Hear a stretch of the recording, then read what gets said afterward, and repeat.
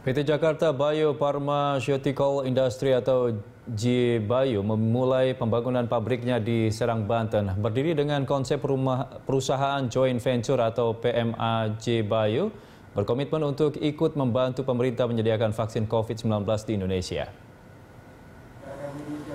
Direktur Utama J-Bio Mahendra Suhardono dalam acara groundbreaking pabrik J-Bio di Serang, Banten mengatakan pembangunan akan berjalan selama dua tahun. Selain menyediakan vaksin COVID-19, pabrik Jakarta Bio Pharmaceutical Industry J-Bio juga akan memproduksi sediaan biofarmasi lain seperti biosimilar dan sediaan biologi lainnya. Pabrik ini dibangun dengan nilai investasi 500 miliar rupiah dan dibangun di atas lahan seluas 1,4 hektar di kawasan industri modern Cikande, Serang, Banten. Vaksin dari J-Bio ini lan, eh, lanjut Mahendra juga akan menjalani fase uji klinis ketiga di Jakarta dan Bandung.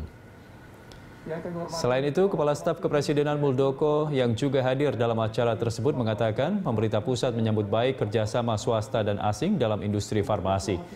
Muldoko menilai pendirian pabrik vaksin ini mampu memperkuat industri vaksin yang telah dimulai oleh BUMN. Jakarta Biopharmaceutical Industry, kita singkat ini J-Bio, Bapak Ibu, adalah joint venture company dengan status PMA. Jadi dengan visi bahwa kita inginnya menjadi produsen produk biofarmaceutical yang berkelas dunia yang mensuplai produk yang berkualitas untuk mendukung eh, kebutuhan pemerintah dan negara-negara uh, berkembang. Jadi kita memang skopnya tentu prioritas pemerintah, tapi kita karena kualitasnya internasional kita ingin juga berbagi untuk negara sedang berkembang.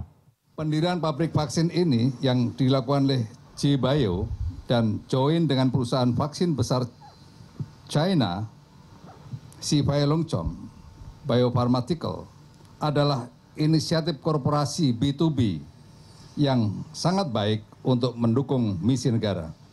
Oleh karena itu, pendirian pabrik vaksin yang dilakukan oleh swasta ini dapat memperkuat industri vaksin yang sudah dibangun oleh BUMN sebelumnya atau Bio Farma yang sejak lama dan menjadi kebanggaan